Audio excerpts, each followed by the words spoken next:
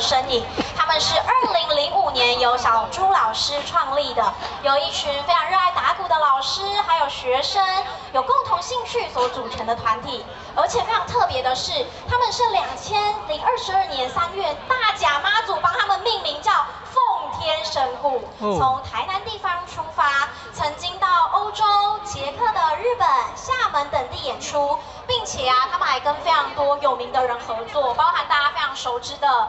大只吴俊宏，甚至呢，他们除夕夜的时候也到台视去参加红白大赏节目，而且。他们也攻小巨蛋了，跟阿夸妹共同演出，非常厉害，对不对？这是我们发机从台南发机，一直到全台湾、全世界的团体，由大甲妈祖所命名的奉天神鼓。他们呢，结合台湾的传统文化，还有创意的鼓艺，大家可以